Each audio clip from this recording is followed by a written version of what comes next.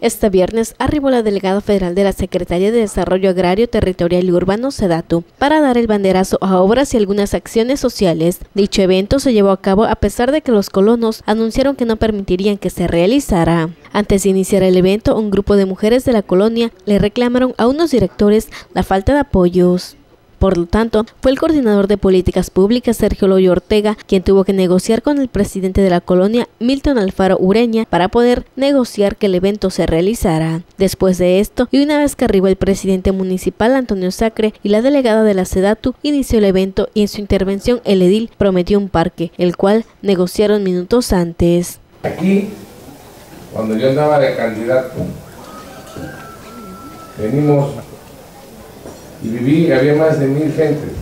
Y les dije, déjenme que me suba al caballo y que agarre la rienda. Hoy les digo, estoy al caballo y traigo la rienda. Y la rienda no es fácil, porque si te mueves tantito te tumba el caballo. Tienes que estar bien ensillado.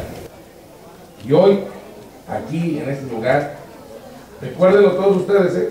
Todos, ¿eh? Porque las cosas hay que decirles, aquí ya vamos a hacer un parque, aquí en este lugar.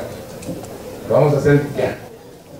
Ya está, aparte de todo lo que traiga Ceratu, lo que tenemos aquí, vamos a hacer un parque con la cuestión de Pronaferma.